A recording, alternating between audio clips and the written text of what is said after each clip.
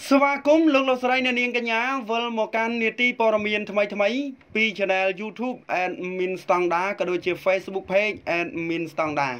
ហើយនៅថ្ងៃនេះ Admin Standard មានជាអត្ថបទព័ត៌មានថ្មីដែលតាក់ទងទៅនឹងក្រោយដឹងរឿងរថយន្ត Rolls Royce ត្រូវខ្ទេចអស់ដួងឆាយក្តៅឆាវតែម្ដង ដល់ថ្នាក់ហ៊ាននិយាយបែបនេះទៅអតីតប្រពន្ធរបស់ខ្លួនថា រាជធានីភ្នំពេញរឿងរ៉ាវដ៏គួរឲ្យភ្ញាក់ផ្អើលមួយនៅលើបណ្ដាញសង្គមកាលពីយប់ម៉ោង2រំលងអាត្រាតមានករណីរថយន្តស៊េរីទំនើប Rolls Royce ពណ៌សខ្លួនវែងបាទតម្លៃកប់ក្តោងថ្មីស្រឡាងទៅបុកណាពុំនោះទ្រុងផ្លូវមួយទំហឹងបណ្ដាលឲ្យខូចខាតផ្ទៃខាងមុខរថយន្តខ្ទេចបែកជាពីរតែម្ដងយ៉ាងណាទៅមិញក្រោយពេលកើតហេតុគេឃើញមានតែអង្គរៈប៉ុន្មានអ្នកប៉ុណ្ណោះ ចំណែកឯម្ចាស់រថយន្តនោះមិនត្រូវគេឃើញ នៅកន្លែងកើតហេតុឡើយដែលគ្រោះថ្នាក់ចរាចរណ៍នេះ បានកើតឡើងនៅលើបាទផ្លូវសហព័ន្ធរុស្ស៊ីសង្កាត់ទឹកថ្លាខណ្ឌសានសុករាជធានីភ្នំពេញ នៅវេលាម៉ោង2អាត្រាតថ្ងៃទី13ខែតុលាឆ្នាំ2021កន្លងផុតទៅថ្មីថ្មីនេះឯងដោយហេតុការណ៍នេះបណ្ដាលឲ្យមានការចាប់អារម្មណ៍ជាខ្លាំងជាងនេះទៅទៀតគេក៏បានមានការសង្ស័យនិងសន្និដ្ឋានថា ម្ចាស់រថយន្តជាអ្នកបង្កហេតុគឺជាអតីតភរិយារបស់លោកដួងឆាយដោយហេតុថា ក្នុងកំឡុងពេលនឹងក្រោយកើតហេតុលោកដួងឆាយក៏បានបង្ហោះសារនៅលើបណ្ដាញសង្គមយ៉ាងបែបនេះថា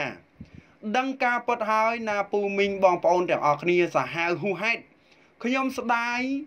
បាទទឹកចិត្តដែលបារម្ភនិងអាណិតណាស់ស្រីដូចជាអានាងណាស់បាទគាត់ទៅសេបែបនេះប្រិមត្តអញ្ចឹងតាក់ទងទៅនឹងព័ត៌មាននេះ ឃើញថាអូប្រិមត្តអូយបាទបុកលឹកតិចតែម្ដងបាទរយរយណាតម្លៃរាប់ម៉ឺនដុល្លាររាប់សែនដុល្លារបាទមិនធម្មតាទេឥឡូវនេះគឺឃើញថាអត់មានអីទេបាទយើងចាំតាមដានបន្តទៀតហើយភ្លាមភ្លាមហ្នឹងម្ចាស់អ្នកបើកបរហ្នឹងក៏អត់នៅកន្លែងដែរបាទគឺចេញពីកន្លែងកើតហេតុបាទដោយនៅតែអង្គរៈ2 3នាក់តែប៉ុណ្ណោះបាទអង្គរៈ2 3នាក់តែប៉ុណ្ណោះ អញ្ចឹងប្រិយមិត្តទាំងអស់គ្នាបាទចូលរួមខមមិនម្នាក់មួយផងហើយរថយន្តនេះឥឡូវនេះគឺខាងប៉ុស្តិ៍រដ្ឋបាលគេគេយកទៅទុកហើយទុកធ្វើការដោះស្រាយដោយបុកបាក់បាទហៅថាថ្មពុះចែកទ្រុងផ្លូវណា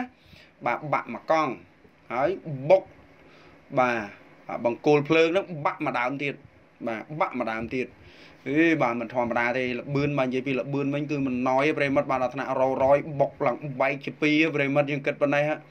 បាទបែកពងបែកអីអស់ហើយបាទមិនធម្មតាទេប្រិមិត្តបាទមិនធម្មតាទេតកតងទៅនឹងអត្ថបទព័ត៌មានក៏មានតែបាទប៉ុណ្្នឹងដែរជាចុងក្រោយ admin ស្តង់ដារសូមជម្រាបលាបាទ